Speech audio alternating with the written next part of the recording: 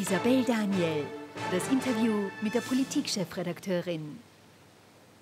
Oberösterreich, das von der vierten Welle bekanntlich sehr stark betroffen war, öffnet am 17. Dezember wieder alles kontrolliert und mit Sicherheitsvorkehrungen. Österreich insgesamt öffnet aber als Fleckerlteppich. Äh, wie es konkret in seinem Land ausschaut und was er von diesem Fleckerlteppich hält, möchte ich jetzt Oberösterreichs Landeshauptmann Thomas Stelzer fragen und ich freue mich, via Skype-Zuschaltung aus Oberösterreich begrüßen zu können. Guten Abend, Herr Landeshauptmann. Grüß Gott, guten Abend. Sie haben heute verkündet, dass Sie eben am 17. Dezember, der Rest von Österreich darf quasi per 12. Dezember den Lockdown beenden, wieder alle Bereiche gleichzeitig öffnen werden. Ähm, ist das vernünftig, alles gleichzeitig zu öffnen? Wir haben ja in Oberösterreich, weil wir eine sehr dramatische Entwicklung hatten, schon von uns aus, bevor der Bund einen Lockdown verordnet hat, den Lockdown ausgerufen, auf Anraten der Experten ihn auf vier Wochen angelegt. Das halten wir auch. Und wir haben uns natürlich jetzt auch damit beschäftigt, aufgrund der Zahlenentwicklung, ob es Staffelungen braucht, aber auch aufgrund des Simulationsforschers Popper, der uns berät, trauen wir uns darüber, dass mit den vielen Sicherungsmaßnahmen, die es ja gibt, am 17. Dezember, also nächsten Freitag, wir wieder in geordnete Öffnungen gehen können. Mhm. Äh, Sie sprechen jetzt die Sicherungsmaßnahmen an. Das ist unter anderem natürlich, dass der Lockdown für Ungeimpfte bleibt bestehen, 2G. Äh, wie schaut es da mit Kontrollen aus? Natürlich wird es Kontrollen geben. Wir haben mit der Polizei gerade an den Öffnungstagen Schwerpunktkontrollen, massive Schwerpunktkontrollen vereinbart. Ich rufe aber wirklich alle auf, sich auch an die Maßnahmen zu halten, denn das, was wir jetzt dann erleben können, Gastro, Handel mit FFP2-Maske und 2G-Nachweis, das wird uns länger begleiten. Es kann aber nur länger bleiben, wenn auch alle bereit sind, mitzumachen. Also daher bitte die Maßnahmen nicht nur einhalten, wenn ein Polizist in der Nähe ist, sondern wirklich als Grundsatzhaltung, die wir in den nächsten Wochen brauchen. Mhm.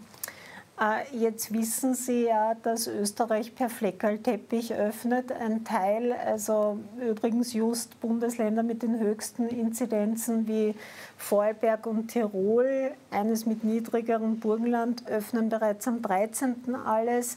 Mehrere Bundesländer äh, öffnen erst am 17. die Gastronomie und Hotellerie. Wien mit der niedrigsten Inzidenz äh, öffnet zwar den Handel und die körpernahen Dienstleister und Kultur davor, aber erst am 20. Äh, die Gastronomie und Hotellerie. Ist Österreich für so einen Fleckerlteppich nicht zu klein und befürchten Sie da nicht, dass die Leute von den Bundesländern hin und her fahren und eben diese Vorschriften umgehen? Das Wichtigste ist, dass die Bedingungen, äh, die für unsere Schritte gelten, österreichweit einheitlich sind. Dazu haben wir uns ja mit der Bundesregierung getroffen gestern. Das halte ich für sehr, sehr wichtig. Und dass es regionale Maßnahmen gibt, das haben wir in der gesamten Corona-Entwicklung immer wieder gehabt. Wenn ich erinnern darf, dass zu Ostern die Ostregion Wien, Niederösterreich, Burgenland einen Lockdown hatten, wir jetzt eben in Oberösterreich einen längeren. Lieber wäre es mir auch, wenn ganz Österreich unter gleichen Bedingungen gleichzeitig alles machen könnte. Aber die Corona-Entwicklungen sind nun mal unterschiedlich und darum gibt es jetzt auch unterschiedliche Zugänge. Mhm. Aber befürchten Sie nicht, dass zum Beispiel Oberösterreich schon am 13. nach Niederösterreich einkaufen fahren? Dazu kann ich nur sagen, solange ein Lockdown gilt, sind auch solche Einkaufsfahrten in andere Länder verboten. Und ich halte sie auch für extrem unsolidarisch und unpatriotisch. Ich kann nur appellieren, sich an die Regelungen zu halten. Aber wir wissen natürlich in der Realität, dass es immer Leute gibt, die versuchen, Regelungen zu umgehen. Das sind nur Regeln, die unserer Gesundheit und letztlich auch dem Schutz des Lebens dienen und das müssen wir wissen. Mhm. Sie haben ja selber gesagt, Oberösterreich war sehr hart betroffen von dieser vierten Welle. Deswegen sind Sie ja dann auch früher in den Lockdown gegangen. Äh, wie sehen Sie denn jetzt, Sie haben gesagt, Sie werden vom Simulationsforscher Popper beraten, wie sehen Sie jetzt die, die Entwicklung des Infektionsgeschehens und die Lage in den Spitälern?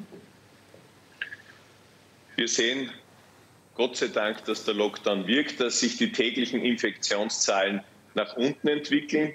Die Spitäler allerdings sind nach wie vor belastet, sehr belastet. Und es wird noch bis zum Jahresende dauern, wenn es so bleibt, wie wir es momentan sehen, dass auch die Intensivstationen wieder in einen Zustand kommen, dass wir dort in eine Phase eines halbwegs normalen Geschehens äh, kommen. Allerdings muss man sagen, das ist jetzt nicht eine Phase, die wir durchleben und aussitzen müssen, sondern es wird das wahrscheinlich ganze nächste Jahr herausfordernd bleiben. Und unsere Messlatte muss immer sein, wie können wir die Intensivstationen schützen. Und daher werden wir auch sehr genau die Entwicklung auf den Intensivbetten im Auge behalten. Mhm. Das heißt, wenn Sie da sehen würden, dass die, die Zahlen wieder in die Höhe gehen, würden Sie auch regional gegensteuern? Das muss unsere äh, Messlinie sein, denn wir haben ja extrem viele Behandlungen, Operationen und so weiter aufschieben müssen, wo die Leute dringend auf Behandlungen warten. Und vor allem die Mitarbeiterinnen und Mitarbeiter sind ja nicht unbegrenzt belastbar, auch nicht auf den Intensivstationen. Und auch das muss man ins Kalkül zielen. Darum ist das jetzt auch die Messlinie, an der wir uns orientieren müssen. Mhm. Äh, ein Thema, das Oberösterreich stark betrifft, das es auch in Wien gibt, sind permanent diese äh, Anti-Impf-Demonstrationen, Anti-Regierungsdemonstrationen, aber mit sehr vielen äh, Impfgegnern dabei. Und da habe ich auch wiederholt in den Berichten der Ampelkommission vom Vertreter Ihres Landes gelesen, äh, dass die, das medizinische Personal immer wieder beschimpft und bedroht wird. Ähm, wie kann man da stärker dagegen vorgehen? Ich glaube, was das Wichtigste ist, ist, dass die große Mehrheit, die halt offensichtlich schweigt, aber bereit ist, mitzumachen mit den Maßnahmen, dass die sehr, sehr vernünftig ist. Ähm, wir haben jetzt aufgrund der Demonstrationen, auch aufgrund der Beschimpfungen, äh, die es leider gegeben hat Richtung Gesundheitspersonal, auch an unseren Impfstationen oder Teststraßen, die Sicherheitsmaßnahmen äh, verstärkt, auch in den Spitälern. Aber auch da kann ich nur sagen, wir sind natürlich bereit, alle, die skeptisch sind, die Fragen haben, geduldig darauf zu antworten. Aber den Radikalen, den müssen wir auch entschlossen entgegentreten, auch mit den Sicherheitskräften, die wir haben. Mhm. Ähm, ich weiß nicht, ob Sie es verfolgt haben, aber ich gehe fast davon aus, die FPÖ-Abgeordnete Dagmar Belakovic hat bei einer Demonstration in Wien unlängst erklärt, die Spitäler äh, seien nicht wegen Corona-Erkrankten unter Druck, äh, sondern wegen äh, Menschen mit Impfschäden, was natürlich nachweislich falsch ist. Äh, wie, sehen die, wie sehen Sie denn so eine Aussage?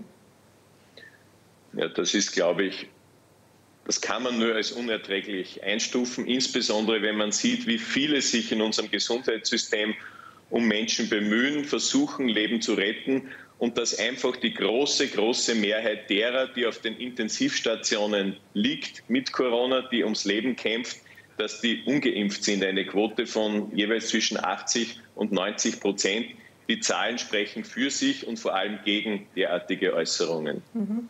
Äh, Sie haben auch angekündigt, Sie wollen das Impfangebot in Oberösterreich jetzt ausweiten. Ich nehme an, Sie wollen auch die sogenannten Booster-Shots, also die dritte Impfung, forcieren. Wir wissen alle, es kommt diese neue Variante Omikron auf uns zu und äh, da ist der Booster offensichtlich sehr nötig. Wie laufen da die Vorbereitungen?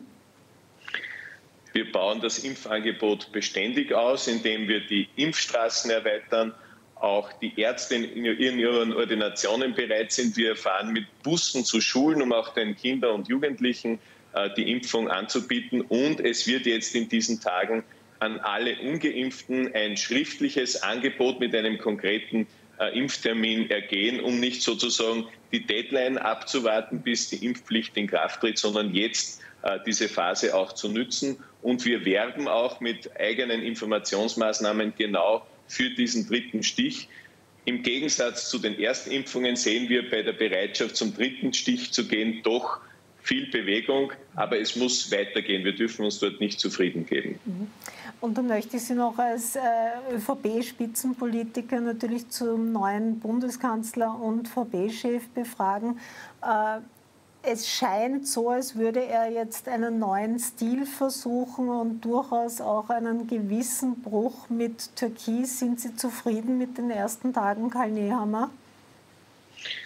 Wir haben uns aus guten Gründen äh, für Karl Nehammer als neuen Bundeskanzler entschieden und ich glaube, man sieht auch die Stimmung, die er in die Gesprächsrunden bringt, über Parteigrenzen hinweg, ist auf Einigung, auf ein Miteinander angelegt, das wir auch brauchen in dieser schwierigen Situation jetzt und wir unterstützen ihn auch dabei, denn ein Weg aus der Krise kann nur durch das äh, Einbinden und durch das, durch das Zusammenfinden führen. Mhm.